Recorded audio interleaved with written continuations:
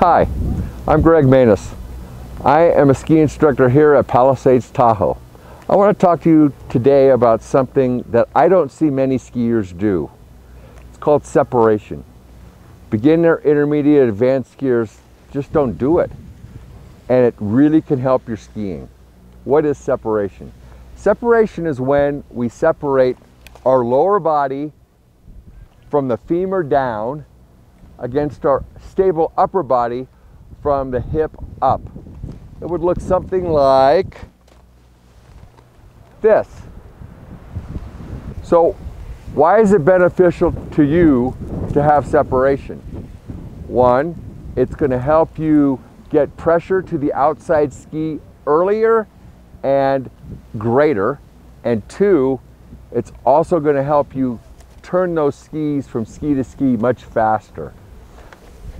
What I see out there is most skiers, they allow their upper body to follow their skis. That means to get your skis to come back around, your body is then turning to come back around. That takes a lot of time. When I separate, I'm able to only work my lower body, keeping my upper body in a stable position while my lower body is moving back and forth. So let me talk to you about body position. This upper body position is called counter. We're countering to the turn. So what does that mean? And how much do you counter, people ask.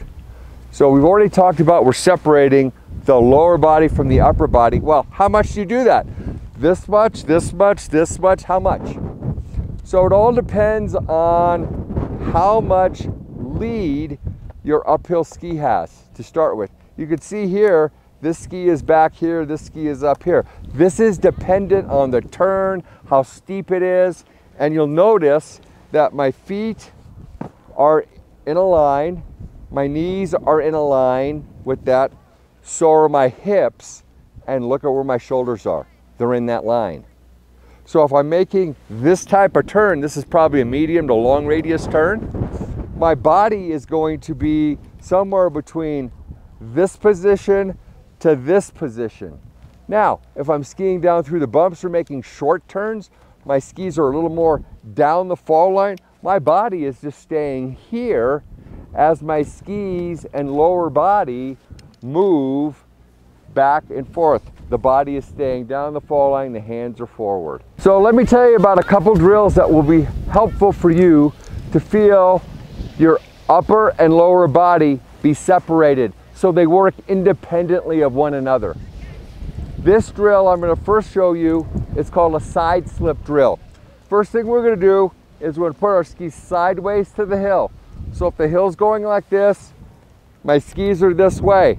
If the hill is here, my skis are sideways to the hill. Okay? Second thing I'm to do, I'm going to over exaggerate my upper body turn. We don't typically turn quite this much, but I want you to feel the separation. What I want you to do is put your hands in front of your ski, my body rotated. You kind of feel like your, your hip kind of rotates down the hill. Your femurs and feet are still going this way. Hands are here, and now all I do is put my weight on the downhill ski, and now I just side slip as I'm coming down the hill.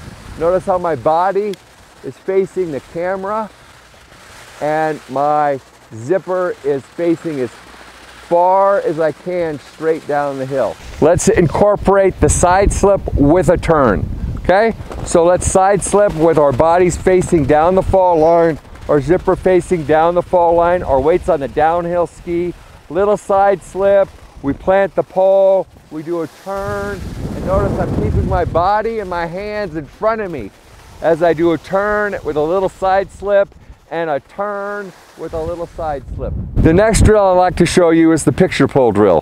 What the picture pole drill does is it has you hold your poles in your hands up. Your poles will be the picture frame. Look at a tree down the hill. Your body zipper is going to be down the hill. Your body and your zipper is going to be down the hill. The poles are going to frame it And now you're gonna go side slip, side slip, side slip. You can do a little more advanced. Go forward, make a full turn. Notice how my upper body is staying down the fall line. So I have separation. You should feel your lower body move back and forth and back and forth as your upper body is staying straight down the fall line and your poles are framing that tree I've been looking at.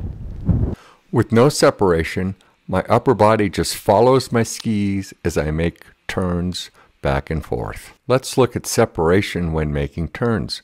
Notice my jacket zipper is pointing at the apex of the turn and my legs are moving back and forth under a stable upper body.